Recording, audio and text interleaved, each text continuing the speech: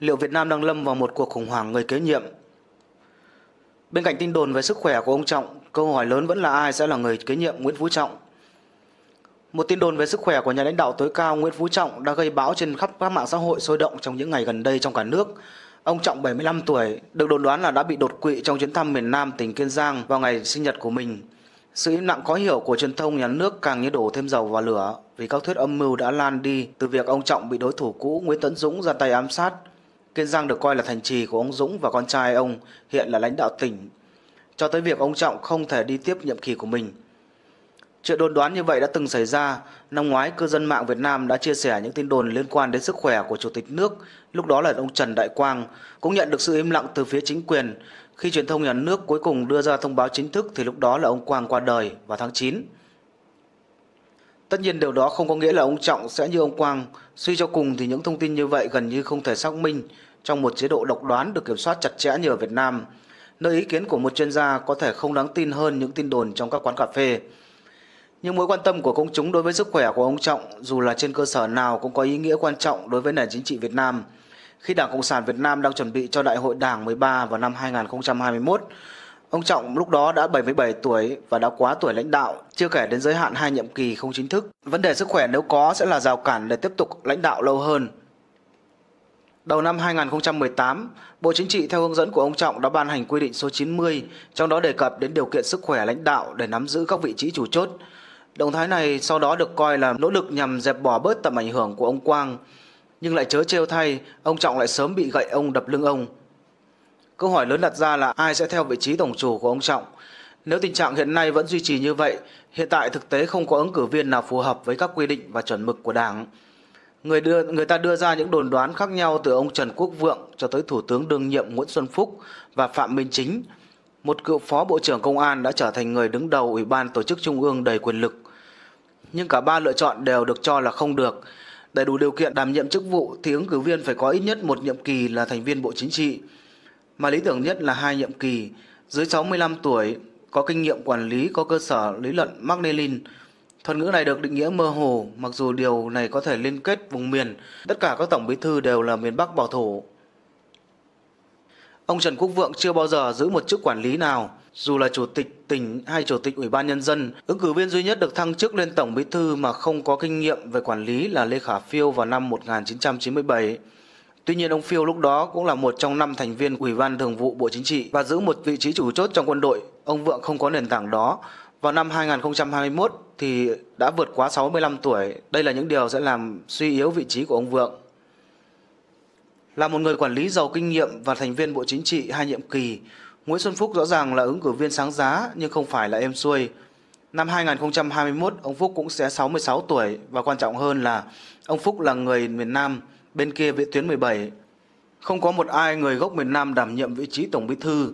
Những đồn đoán dai dẳng về cáo buộc tham nhũng kể từ đại hội vừa qua cũng có thể làm suy giảm khả năng ứng cử của ông Phúc. Ông chính là một ứng cử viên trẻ tuổi với thành tích lớn trong cải cách kinh tế và hành chính khi còn làm bí thư của một trong những tỉnh giàu nhất Việt Nam, tỉnh Quảng Ninh. Tuy nhiên ông chính chỉ là thành viên Bộ Chính trị, mới có một nhiệm kỳ vào năm 2021. Vị trí hiện tại của ông chính cũng có thể là một điểm yếu. Chưa từng có một tổng bí thư nào từng làm trưởng ban tổ chức trung ương. Điều này rõ ràng rất logic vì một người như vậy sẽ được coi là quá quyền lực khi giữ vị trí cao nhất và nắm giữ bộ hồ sơ nhân sự cao cấp. Người có chức vụ như vậy tương tự như một nhân vật Liên Xô khét tiếng Laurenti Beria.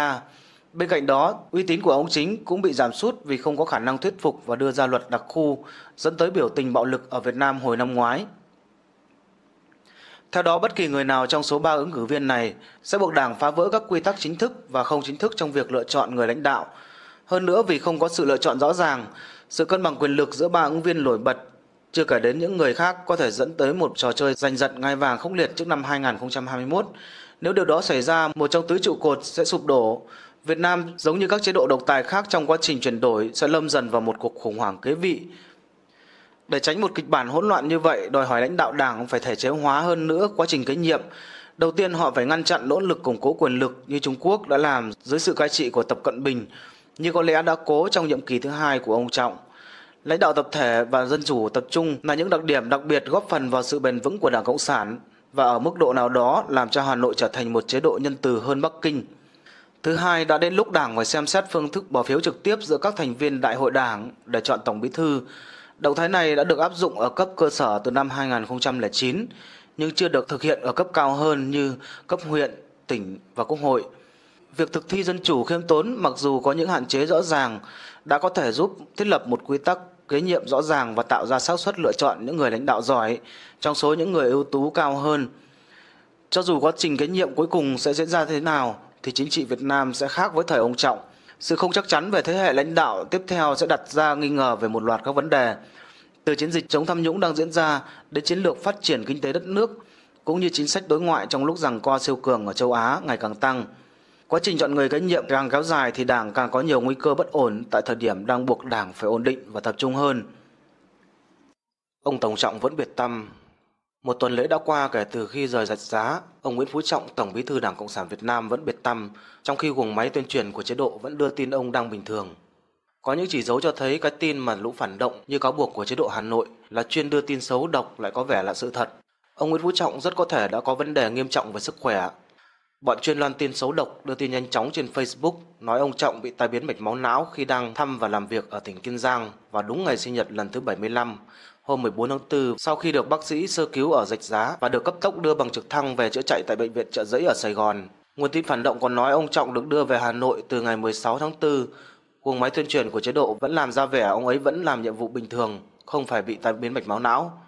Hôm 21 tháng 4 năm 2019, Thông tấn xã Việt Nam đưa tin được tin các vụ đánh bom tại Sri Lanka làm nhiều người thiệt mạng và bị thương. Ngày 21 tháng 4, Tổng bí thư Chủ tịch nước Nguyễn Phú Trọng đã gửi điện chia buồn đến Tổng thống Sri Lanka Mathipala Sirisena. Trước đó báo chí trong nước nhất loạt theo Thông tấn xã Việt Nam đưa tin ngày 18 tháng 4 năm 2019, Tổng bí thư Chủ tịch nước Nguyễn Phú Trọng gửi điện mừng tới Chủ tịch Ủy ban Thường vụ Hội nghị Nhân dân tối cao Triều Tiên Choi Ryong-hae Nhân dịp kỳ họp thứ nhất Hội nghị Nhân dân tối cao khóa 14, nước Cộng hòa Dân chủ Nhân dân Triều Tiên bầu lãnh đạo mới của nhà nước Triều Tiên, hôm nay lãnh đạo Việt Nam đã gửi điện mừng. Ngày hôm sau thì thấy guồng máy tuyên truyền của chế độ đưa tin lãnh tụ độc tài sát máu Kim Jong-un của Bắc Hàn gửi lời cảm ơn và chúc Tổng bí thư Chủ tịch nước Nguyễn Phú Trọng sức khỏe, thành công sau khi nhận được điện văn chúc mừng của ông Trọng. Việc gửi điện văn chúc mừng chia buồn với lãnh tụ nước khác có quan hệ ngoại giao thân hữu là một thông lệ. Bộ phận phụ trách nghi lễ của nhà cầm quyền có nhiệm vụ soạn thảo và gửi điện văn đi. Thành thử các điện văn nêu trên không xác định là ông Nguyễn Phú Trọng mạnh khỏe hoàn toàn hay đang nằm liệt giường. Trong khi đó, có những sự kiện mà đúng ra người ta phải thấy có mặt ông thì lại không thấy. Theo lịch đã được xếp đặt từ trước, ngày 19 tháng 4 năm 2019, ông Nguyễn Phú Trọng phải tiếp phái đoàn của các thượng nghị sĩ Mỹ do ông Patrick Leahy, Chủ tịch Ủy ban chuẩn tri Thượng viện dẫn đầu. Tuy nhiên, theo bản tin đài VOA, thuật lời một vụ tá của ông Patrick Leahy cho biết cuộc gặp của phái đoàn với ông Trọng đã không diễn ra. Thượng nghị sĩ Leahy đã từng gặp ông ấy hai lần trước đây nhưng không phải lần này vì những lý do về sắp xếp tổ chức. VOA dẫn phát ngôn viên David Kyle nói trong một email gửi cho VOA mà không cung cấp thêm chi tiết nào khác.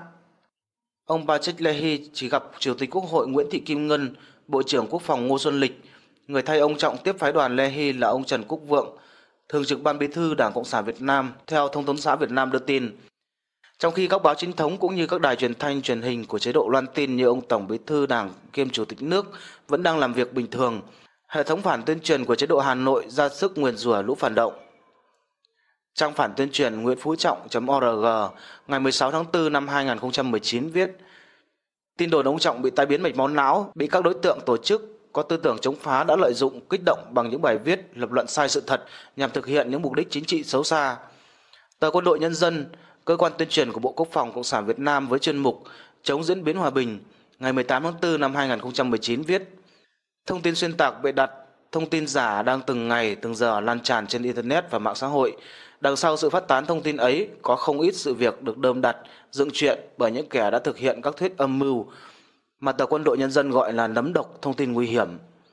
Trang Nguyễn Phú Trọng.org liên tiếp mấy ngày qua đều có những bài xếp trong mục bút chiến trên mạng để trừ rùa những kẻ đã đưa tin ông Trọng bị tai biến mạch máu não từ cô gái Đồ Long Lê Nguyễn Hương Trà, Việt Tân, Nguyễn Anh Tuấn, Nguyễn Văn Đài và dọa rằng những hành vi bịa đặt như trên đã xúc phạm bôi nhọ uy tín danh dự cá nhân của người khác mà trực tiếp ở đây là các đồng chí lãnh đạo cấp cao, gây mất uy tín của Đảng, nhà nước, đây là những hành vi nguy hiểm cho xã hội cần phải được xử lý nghiêm minh trước pháp luật.